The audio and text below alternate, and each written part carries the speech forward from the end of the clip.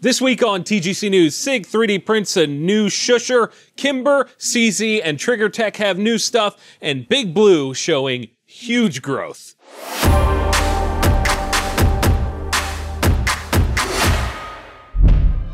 Keltec continues to evolve and innovate with designs like the P17, an ultra affordable 17 round 22 pistol, or the CP33, a 33 round 22 caliber pistol. How about the KS7 bullpup shotgun? And of course, the RDB lineup continues to grow with the RDB Defender. Keltec keeps pushing the boundaries of what is possible. To learn more, go to keltecweapons.com. Welcome back to another episode of TGC News, the only gun news show that covers things you actually care about. My name is Jon Patton. Before we get cracking, I want to have some fun going into the holidays. If you guys click the secret affiliate link in the description of this video, 50,000 times total before Christmas, that's December 25th, 2020, I will give away a Barrett. I don't mean one of their ARs or something else. I mean a real deal big boy Barrett. This means you have 18 days to make that happen.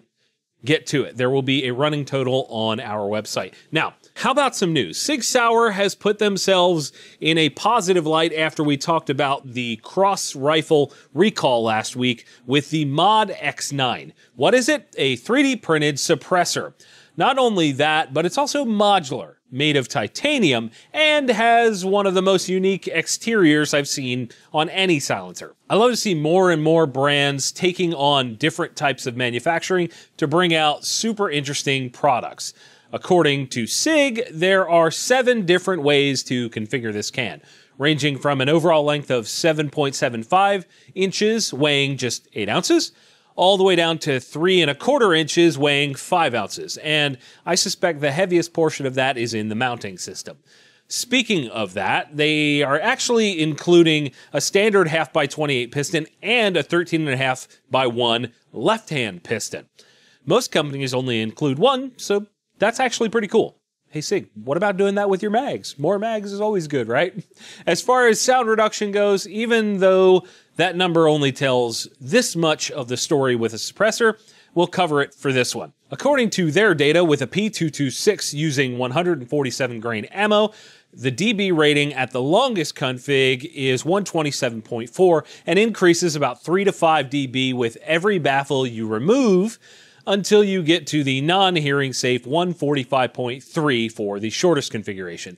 Now, that is definitely not the first modular suppressor on the market, but it is certainly a cool take on things. It kind of reminds me a lot of the Erector from Q with some fancier designs on the outside, or more accurately, the Dead Air Odessa 9, which only weighs 10.1 ounces and is a quarter inch longer. Personally, I'm not sure I would have a lot of use for that amount of adjustment in a suppressor. I'm more of a all or nothing kind of guy when it comes to that. I don't like like 80 different ways to adjust it. I don't need all that. MSRP is listed at 925. I want to know what you guys are thinking here. Do you like having this huge amount of flexibility to tune for your setup in a suppressor? Or do you care about suppressors to begin with? Sound off in the comments. Let's have a conversation about it. It's time once again for more rapid fire news. We've got a bunch more to cover and not enough time to cover it, so here we go. Trigger Tech, a brand most known for super high quality drop in triggers, has announced a few new variations of that concept for pistol caliber carbines. They are now making them for the SIG MPX, the AR9 platform, and the lesser used FX9 platform. Each of these has their own additions and tweaks designed specifically for that model that it will live in. MSRP is 250 bucks for the adjustable version and 225 for the fixed 3.5 pound option. Also, in new product news is a rifle from CZ USA called the 557 Eclipse. Basically, this is a more affordable version of the 557. It comes in 308, 65 Creedmoor, or 30-06 with 20.5 inch barrels. Of those, the 6.5 Creedmoor version actually comes with a 5 8 by 24 threaded muzzle. The stock is a synthetic setup and yada yada yada. The rest is pretty basic. Pricing lands at 659 MSRP. Another new one coming our way is from Kimber. It's called the Rapide Black Ice and it's part of the Micro 9 lineup. The real key here is that the styling is also functional serrations on the slide, texture all around the grip, and some other trinkets like a flared magwell, extended mag, TruGlo TFX tritium fiber optic sights, and a DLC coated barrel. The barrel length is just a hair over 3 inches long, and the extended mags hold 7 rounds. Pricing on that is 883 MSRP. And it's once again time for Gundustry news. First up, IWA or IWA Outdoor Classics, the European version of SHOT Show has been canceled. The interesting part of that, the show is scheduled for March of next year. This says a lot about how Europe is feeling about COVID right now and could indicate things to come here in the US. Also, in Europe adjacent news, Zenith Firearms has announced that they are no longer going to be importing MKE firearms. The story is a bit more juicy than a normal split, though. The press release on their website goes through all kinds of monetary troubles and lawsuits to Walmart screwing them over, to the Turkish government dealing with a coup. It's kind of crazy, actually. There's like bribery and all kinds. It's like a, a novel almost. All that to say, they will be switching to US made firearms that they will be launching next year, or so they say. No telling what they will end up being at this point. They haven't really indicated that. Maybe more roller locks. That's never a bad thing, right? And rounding out our industry news, the Big Blue, Smith & Wesson has released their second quarter 2021 earnings and boy oh boy, it's a whopper. Ace Ventura, pet detective. And you must be the Monopoly guy.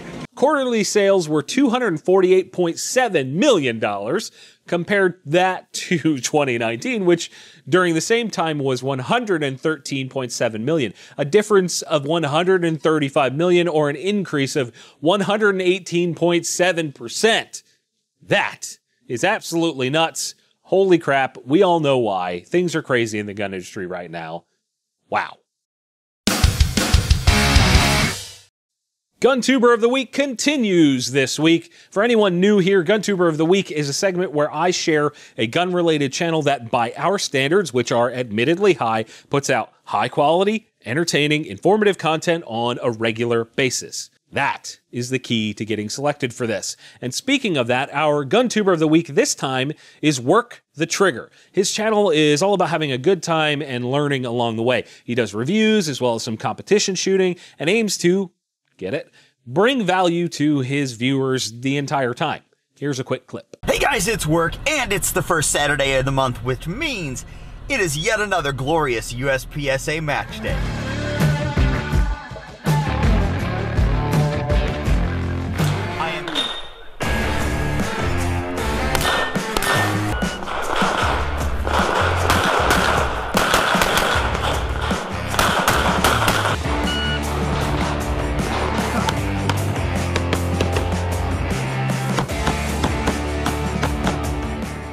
If you're into that type of content, and I bet a lot of you are, go find the link to his channel in the description or in the comments or wherever and get subscribed and be sure to tell him TGC sent you.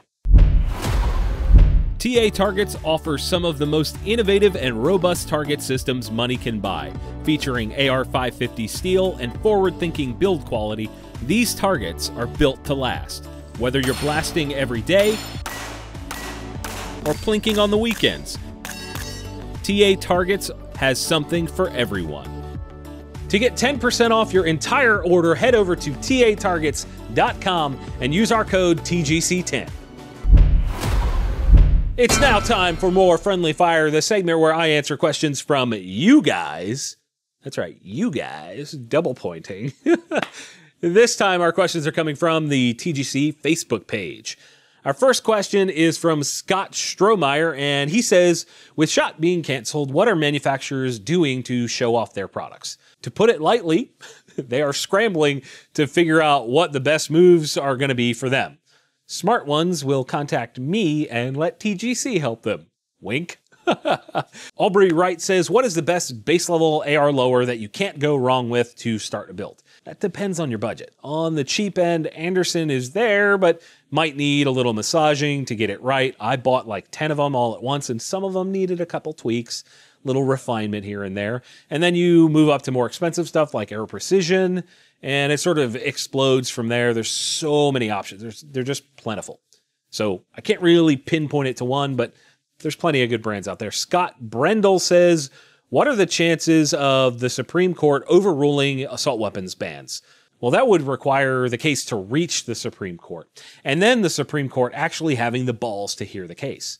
It's unlikely, if you ask me. I don't think SCOTUS has the balls to take gun cases these days. I think they just avoid it. Chris Ramirez says, How can new gun owners still get enough training if money is an issue?